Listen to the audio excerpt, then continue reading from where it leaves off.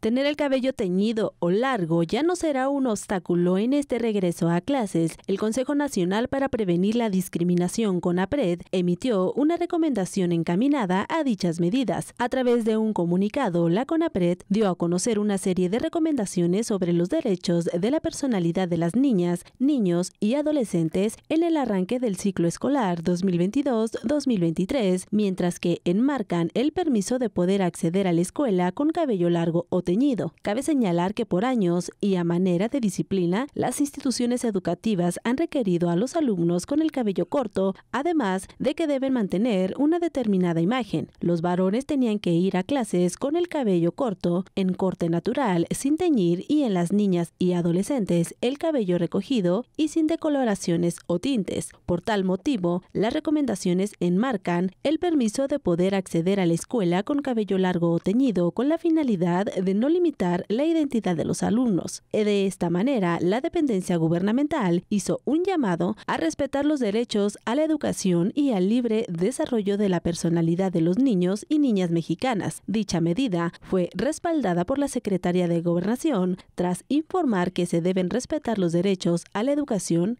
esto debido a que con el regreso a clases presenciales se han presentado restricciones a sus derechos motivadas por su apariencia física, impidiendo el ingreso, permanencia y egreso de las escuelas. Asimismo, se informó a la ciudadanía que fueron emitidos 50 oficios donde se solicita a las escuelas la adopción de las medidas precautorias. Cabe señalar que, de acuerdo a la Constitución Política de los Estados Unidos Mexicanos, el artículo 3 establece que ninguna escuela en México debe condicionar a los alumnos y tampoco se les puede obligar a adquirir el uniforme escolar en el plantel para prestarle así los servicios educativos. Por ello, ante cualquier irregularidad o problema con posibles prácticas discriminatorias, se pueden reportar a la CONAPRED a través del 800 543 0033. Informo para Noti 13, Adoración Araiza.